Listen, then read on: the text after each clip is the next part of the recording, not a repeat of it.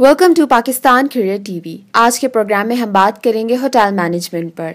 Hotel और guest house के शोबे में हॉस्पिटैलिटी मैनेजमेंट या होटल मैनेजमेंट बहुत ही ज़्यादा अहमियत की हामिल है। इसमें आपको मौका मुयसर आता है कि आप कस्टमर्स को सर्विस मुहैया करें और साथ ही साथ अपने ताल्लुक भी बनाएँ। ये आने वाले वक्त के लिए आपकी अच्छी नेटवर्किंग होगी, आपकी अच्छी सर्विस और मेहमान का हर लिहाज से ख्याल रखना ही असल इन्वेस्टमेंट है।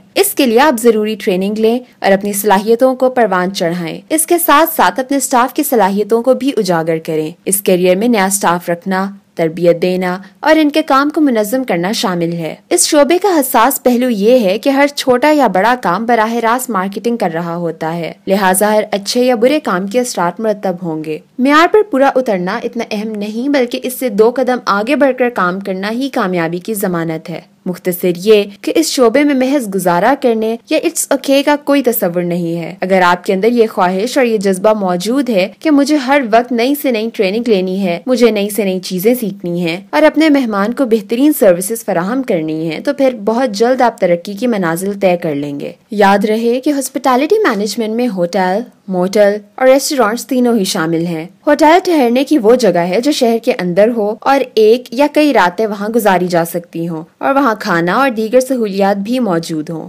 मोटल वो जगह है जो शहर से बाहर किसी बड़ी शाहरा पर हो वहाँ रात गुजारी जा सकती हो। खाना दस्तियाब होना ज़रूरी नहीं। इसे जदीद दौर की सराय भी कहा जा सकता है। और रेस्टोरेंट वो जगह है जहाँ सिर्फ़ खाना, चाय और कॉफ़ी वगैरह मिलती हो और रिहाइश का इंतज़ाम ना हो। यह शहर में और शहर से बाहर दोनों जगह हो सकता है। मजीद मालूम और मशावरत के लिए देखते रहिए Eduvision website Eduvision dot E D U dot P K like करें हमारा फेसबुक पेज और सब्सक्राइब करें पाकिस्तान करियर टीवी।